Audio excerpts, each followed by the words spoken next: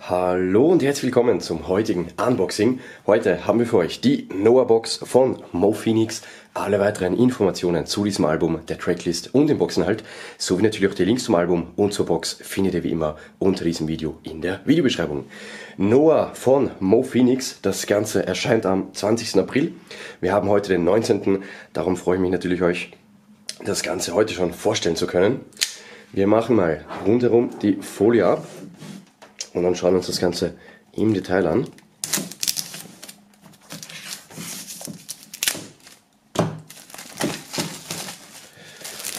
So, sieht das Ganze aus. Noah von Mo Phoenix, das lang ersehnte Debütalbum, das Erst-Release. Mo Phoenix, Noah lesen wir hier. Wir haben hier eine Metallbox, eine Alubox und das Ganze in Silber-Schwarz gehalten. Die Seiten jeweils in Silber. Und auf der Unterseite haben wir dann noch einen Barcode und die Credits zum Album. Gut, wir machen das Ganze mal auf. Wenn es geht. So, es ist ein Klappdeckel, also Deckel nicht abzunehmen. Und als erstes kommt uns entgegen einmal das Album an sich. Dann haben wir hier einmal den Fanschal,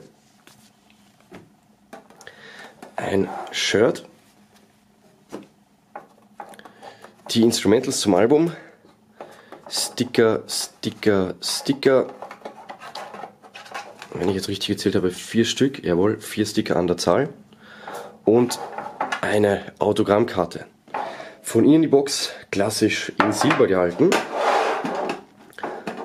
Machen wir mal wieder zu und geben das Ganze auf die Seite. Okay, nachdem Instrumentals und Album noch eingeschweißt sind, werden wir auch diese hier mal aus der Folie befreien.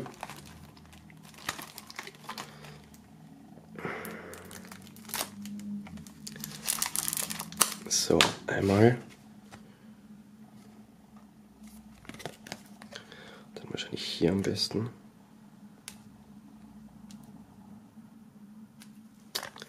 Oder auch nicht. Probieren wir es in der Mitte.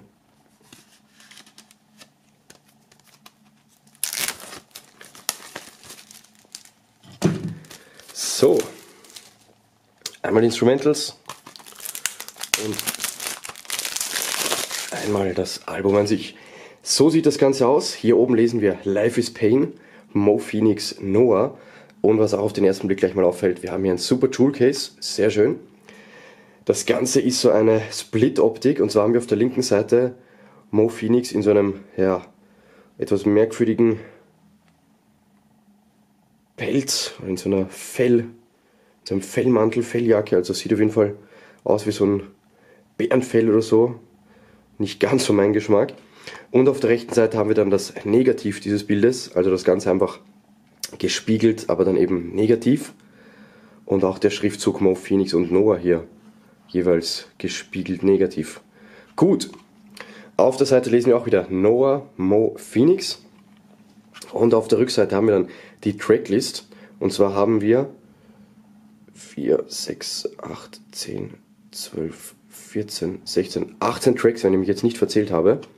Wir haben Features von TJ, Kianush, PA Sports, Mavi, Vaisel und Mosh 36. Also die meisten auf dem, aus dem Life is Pain Umfeld. Barcode und auch hier wieder die Credits. Dann werfen wir mal einen Blick in das Booklet.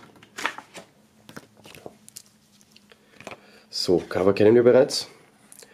Dann haben wir hier einmal Mo Phoenix abgebildet mit Alpha-Jacke, NASA-Jacke in dem Fall und zig Anhängern.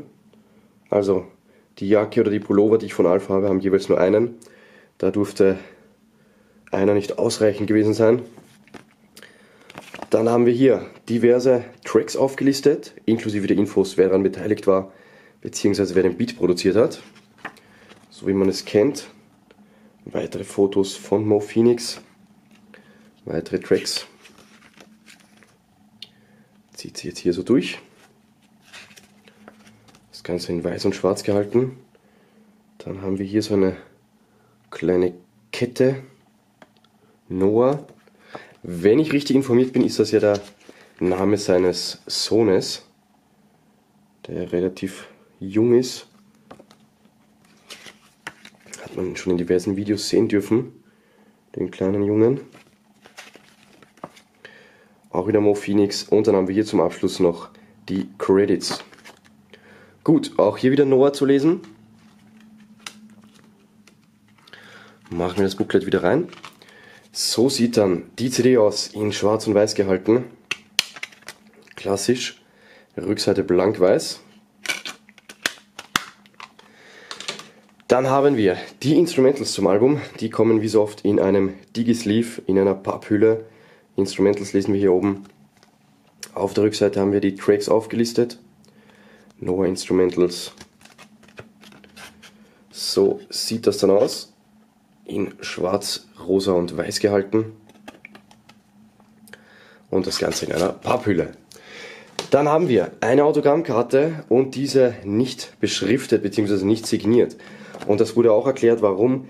Denn Mo Phoenix hat gemeint, dass er diese dann persönlich unterschreiben möchte, wenn die Fans, wenn die Leute, die seine Box gekauft haben, ihn bei irgendeinem Konzert oder bei irgendeinem anderen Anlass bei einer Veranstaltung so aufsuchen, dass er dann vielleicht auch widmen kann oder so. Noah Mo Phoenix lesen wir hier. Rückseite glatt weiß.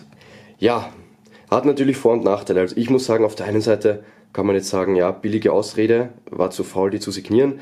Auf der anderen Seite hat es natürlich was Persönlicheres, wenn man das Ganze dann wirklich individuell beschriften kann, von wegen ähm, für wie auch immer du heißt und dann eben Mo Phoenix darunter. Aber das ist natürlich Geschmackssache. Ich hätte mich natürlich über ein Autogramm gefreut. Dann haben wir einmal, zweimal diesen Sticker hier. Und zwar lesen wir hier Schömerpel Mohammed Mo Phoenix Noah Life is Pain. Und Schömerpel Mohammed, das ist ja französisch für mein Name ist oder ich heiße Mohammed. Und auf der linken Seite haben wir einmal Mohammed in arabischer Form, also in arabischer Schrift. Allerdings bin ich mir jetzt nicht ganz sicher, was rechts steht. Also links steht hundertprozentig Mohammed, aber was hier rechts steht, kann ich so nicht sagen. Also wenn ihr das wisst, dann bitte damit in die Kommentare. Dann haben wir noch zwei Sticker mit Mo Phoenix und Noah beschriftet, ebenfalls in quadratischer Form und in schwarz und weiß. So, dann haben wir einen Fanschal, hat man auch schon länger nicht mehr gehabt in Boxen. Auf der linken Seite lesen wir Life is Pain, Mo Phoenix. In der Mitte lesen wir Habibi und dann rechts wieder Mo Phoenix und Life is Pain. Dasselbe dann auch nochmals auf der Rückseite, also Vorder- und Rückseite gleich beschriftet. Der Schal in schwarz, rot und weiß gehalten, also farblich schon mal top. Die Fransen jeweils in schwarz. Und dann lesen wir hier noch 100% Polyacryl Made in EU. Sehr schön. Und als letzten Boxinhalt haben wir dann noch ein Shirt in Grau. Und zwar lesen wir hier auch wieder dasselbe, das wir schon auf dem Sticker hatten. Also der Sticker und der Shirtaufdruck nahezu gleich. Nur dass es hier eben in weiß und schwarz war und hier dann in grau und schwarz. Also auch hier lesen wir wieder Schimmerpel, Mohammed, Mo Phoenix, Noah Life is Pain, Mohammed auf Arabisch. Und was das heißt, kann ich euch leider nicht beantworten. Wir haben es zu tun mit einem, ausnahmsweise keinen Gilden oder Fruit of the Loom, nein, mit einem Souls Imperial in der Größe L. Und das Ganze ist, wo haben wir es? Entschuldigung. Das Ganze ist 85% Baumwolle und 15% Viskose. Okay, und made in Bangladesch. Grüße gehen raus. Wir schauen uns das Ganze nochmal kurz im Detail an. Und so sieht das Ganze dann getragen aus. Also wir haben Schömerpel Mohammed hier im Brustbereich stehen, darunter dann die arabischen Schriftzeichen und dann lesen wir wieder Mo Phoenix Noah Life is Pain. Das Ganze in schwarz und grau gehalten.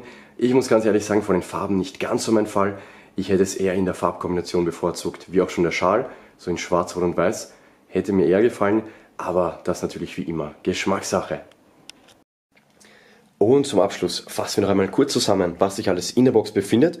Einmal das eben gezeigte T-Shirt in der Größe L, dann dieser Fanschal in schwarz, rot und weiß gehalten, zweimal dieser Sticker Schömerpell Mohammed, dann zweimal dieser Sticker Noah Mo Phoenix, die Autogrammkarte ohne Unterschrift, die Instrumentals im Digisleeve in der Papphülle.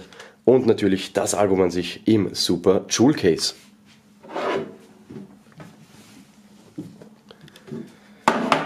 Das alles in dieser wunderbaren Box. Noah von Mo Phoenix.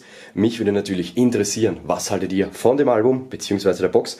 Schreibt es in die Kommentare. Und wenn ihr die Musik feiert, falls ihr Mo Phoenix unterstützen möchtet, dann findet ihr die Links dazu unter diesem Video in der Videobeschreibung. Das war's für heute. Bis zum nächsten Unboxing. Passt auf euch auf. Ciao.